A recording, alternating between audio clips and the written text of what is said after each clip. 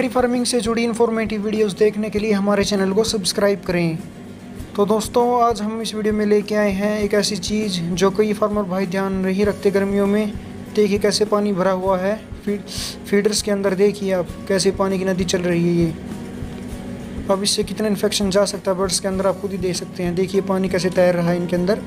ये छोटी सी लापरवाही के कारण हुआ है फ्रेंड्स जो कि गर्मियों में ये हम पर्दे वगैरह लगाते हैं साइड में, उसके अंदर जो पाइप होती हैं, वो फट चुकी थी एक पाइप, थोड़ी सी, और लेबर वाले ने उसके ऊपर ध्यान नहीं दिया। तो आप देख सकते हैं क्या हाल हो गया है पूरे शेड के अंदर। तो आप भी ये गलती बिल्कुल भी मत करना। दोस्तों, जो गलती हमने की है, आप कभी मत करना, और पर्दों की पाइप को ध्यान से चेक कर लेना। लगाने से पहले कहीं कोई पाइप फट तो नहीं गई है, नहीं तो आपका फ़ीड भी ऐसे पानी से ख़राब हो जाएगा, और बीमारी आने का खतरा बहुत ज़्यादा बढ़ जाएगा। वो तो हम मौके पर थे फ्रेंड्स हमने देख लिया था।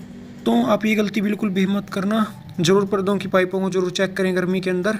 नहीं तो आपको भी इस मुसीबत का सामना करना पड़ सकता है। आशा करते हैं इस वीडियो में भी पहले की तरह आपको कुछ सीखने को मिला होगा। मिलते हैं नेक्स्ट वीडियो में। तब तक हमारे चैनल से जुड़े रहिए। वीडियो देखने के लिए धन्यवाद।